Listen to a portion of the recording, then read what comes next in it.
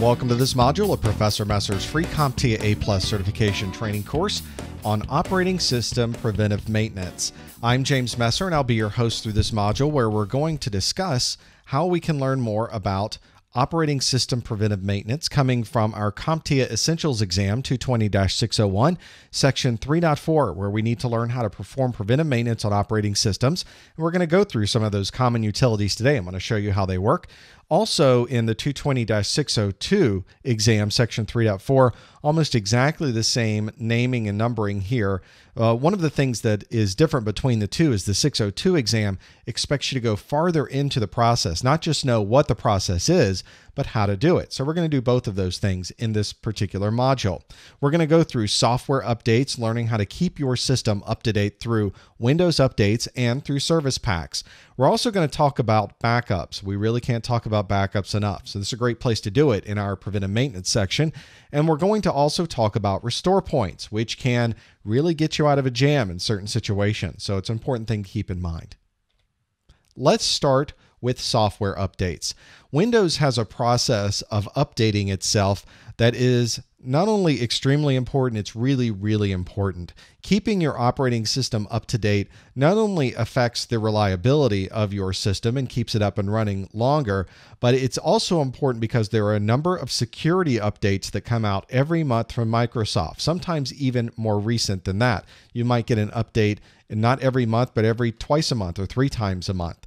Microsoft will release these updates whenever there is a pending problem, something that's really important for you to upgrade your system on.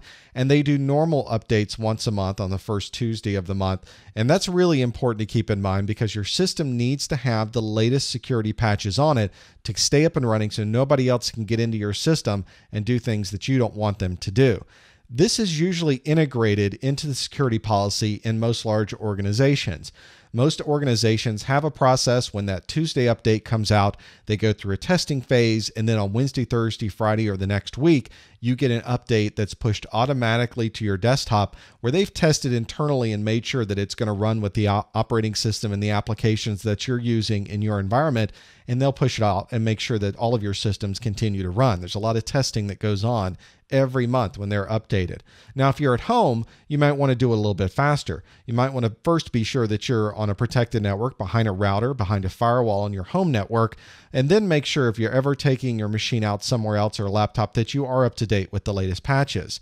This is not always a foolproof process. As I mentioned, whenever these large organizations get these patch updates, they go through a testing process. And the reason they do that is because occasionally these patches can actually break something. And we don't want to have that happen in a large environment. You really don't even want to have that happen in your home environment. So you want to be sure that you always have backups available. We're going to talk about more about backups in this preventive maintenance module. But this is something before you perform any type of operating system update, before you do anything major to your operating system, make sure that you have a backup. Always something to keep in mind whenever you're doing something that major. Microsoft also releases something called service packs. These are released once a year, once every 18 months or so, they are a roll up first of all of those security patches that came down the line. So if you happen to miss some, you're starting with a brand new machine, you just installed the operating system, you can install the latest service pack and you'll get a lot of different patches all in one fell swoop. It makes it very, very quick and easy to install an operating system and at least get it to a point that it's not so old with its security patches. And it's very easy to incrementally update. Occasionally, in a service pack, there will be new features there. This doesn't happen very often. Windows XP Service Pack 1 was a very good example of this. The XP Service Pack 1 released a number of enhancements for wireless networking. Those enhancements made Windows XP work a lot better on wireless networks. It doesn't usually include new features, it's very uncommon, and that's because there's a lot of testing that has to go underway. You're changing operating system components.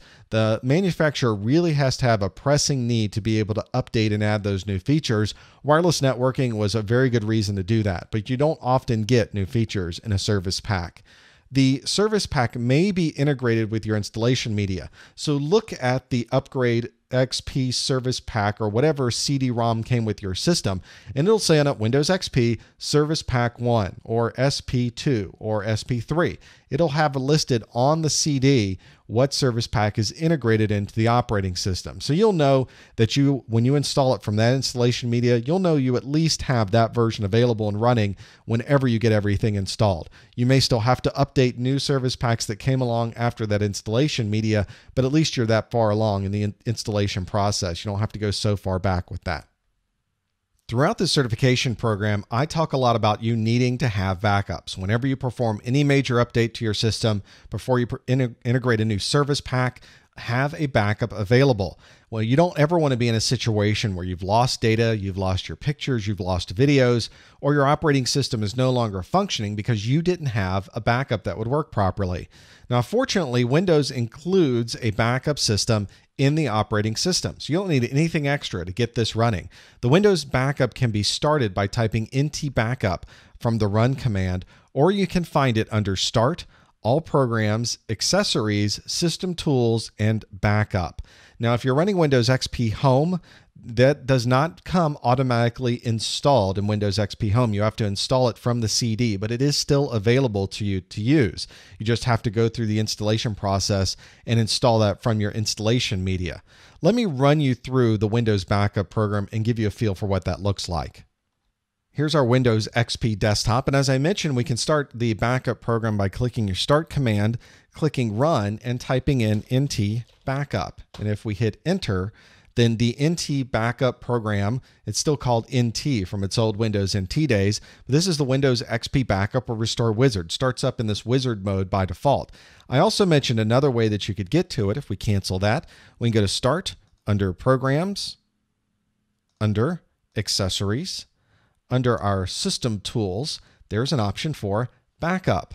And if we click that option, it takes you to the same screen, launches the same program. So, two different ways to get there. You may be asked on your exam, how do you start the backup or restore wizard? Those are the two ways you can go about doing that. And you can see there's an advanced mode to do this. I'm going to go through the wizard mode so you can see what that's like, and then we'll look at the advanced mode afterwards. If we step through the wizard, click next, it says, what do you want to do? Do you want to back up or do you want to restore? Let's say we'd like to back up our files and our settings. One of the options that you have is to back up all of your documents. So if you're storing everything in the My Documents folder, this is an easy way to back up and make sure that you have all of your videos and all of your music and all of your pictures, and you can easily back up just the things specific to you and your documents. Or this may be a machine that everybody in your family uses. Maybe there are more than one person logs onto this device and you'd like to back up everybody's systems. This will back up everybody's My Documents folder. You may just want to say back up everything, back up the operating system, back up the entire system, and create a system recovery disk. That way, if tomorrow something happens to this machine, you can load up your system recovery disk, reboot your machine, and reinstall the entire operating system and everything that was on here all from scratch, and everything is protected. Very easy, one click way to do that. Let's choose next, and you'll get a feel for what that looks like. It tells you where you'd like to save your backup. On my system, I only have an A drive, but I could plug in one of those great USB external hard drives. Those come in really handy. Plug one of those in, and that'll be where you want to save your backup. And then you can name this backup, give it a date and time, give it a name that's descriptive, and it will begin the backup process. Now, what I'd like to do is restart the backup process but I'd like to show you the advanced mode. Let's go to our advanced mode view. This is what the backup utility will usually look like in the advanced mode. We can go through the backup wizard, the restore wizard, or our automated system recovery wizard. So if you have one of those floppy disks that has that automated floppy uh, system setting view, we can grab that and do our installation from there, our backup. There's the backup tab that tells you exactly what you would like to back up. Notice you can be very specific with this. You can choose exactly which drives, exactly which folders you'd like to back it up. Or maybe if you're performing a restore, you could do your restore from here as well. And maybe this is something that you'd like to have happen when you're not using the machine. You go to sleep at night, have it do its backup automatically. So you could set up a schedule that says at any particular time of the day, on a particular night, on a weekend, you can have this just start the process and it will back these things up for you automatically. So once you schedule this, it's really hands off. If your USB backup drive is always connected, makes it very easy for you to have every night an update of all of your recent files and your your folders and the information that's important to you. So take advantage of this Windows backup utility. Very simple to backup, very easy to restore, and it doesn't require any additional software or anything else to to buy. It comes integrated in your Windows operating system. Another capability that Windows has built into it is something called a restore point. A restore point isn't a backup, it's more of a micro backup or a mini backup. It's something just in case you're working with your system and you perform a function and it causes a problem. This might be the situation where you're installing a new driver and the new driver actually has a bug or a problem with it and now your system isn't working the way you would want it to work anymore. You now you've updated your audio driver and now you're not hearing any sounds you'd kind of like to take that back. You kind of like to restart it back to where it was yesterday, where everything was working properly. Fortunately, the restore point process within Windows is a way that you can have that take place. You can find this system restore functionality under Start, All Programs, Accessories, System Tools, System Restore. Let's have a look at System Restore and see what's involved with that.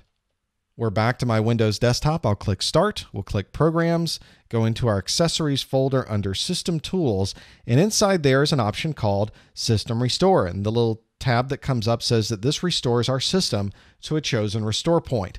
Let's look and see what a restore point is. Whenever you do anything major to your system, it creates a restore point. If you install a new driver, if you install a new application, if you do anything major like that to your operating system, Windows is smart enough to create a new restore point. Now, you may want to create a restore point manually. You could certainly come into here and tell it that right now, at this very moment, create a restore point because I might do something in the next hour or so when I'm tinkering around with things that might create a problem. I'd like to restore back to this point or you can restore your computer to an earlier time. Let me click the next button and give you a feel for what that is. So if you have a, a, click on a calendar, it brings up a nice calendar of the different dates and times. And you can see as you move things backward in time, there are different restore points available depending on what you've done on your operating system. You have, may have multiples for time frames. Uh, during an entire day, you may have three or four or five or more, depending on what you happen to do on your system during that time frame. And generally, system the system Windows XP schedules and automatically creates a restore point every day. And as I mentioned, there are others that are created by other things that you do. So if there's a certain restore point you'd like to go back to, you could choose that restore point and Windows will then begin the process of reverting back to the way your system configuration was during that time. This doesn't change any of your documents. It doesn't change any of the files that you might have added. Doesn't take away anything that's happened during that time frame all of the music that you've downloaded in that time frame all the pictures that you've put on your hard drive any documents that you may have created remain on your hard drive it doesn't remove those what it does change is the system configuration for your system during that time frame so the restore points become very useful now, one thing that you'll be often asked for is when there is a virus or, or, spyware that's on your system. We'll talk more about this in our security section, but restore points don't really help in that scenario. Restore points are stored in a certain part of your system, and viruses and spyware are smart enough to go back to all of your restore points and also embed themselves in your restore points. So, this isn't a great security tool to back up and get your system more secure, but it does help you whenever there's a hardware problem, a driver problem, or configuration change that you've done to your operating system that just isn't working well anymore. So keep that in mind as you go through using restore points, but boy, they can really save you if you happen to run into problems. In review of our operating system preventive maintenance, we've gone through a description of how you would do your Windows updates and our service packs. We've also talked a bit about performing backups and certainly looking at restore points, which has saved me on more than one occasion. Hopefully, you'll find it just as useful when you're working in your Windows XP system. If you'd like to see many more of our hours and hours of free A Plus videos, visit our message boards or participate in our wiki, you can visit our website, freeaplus.com.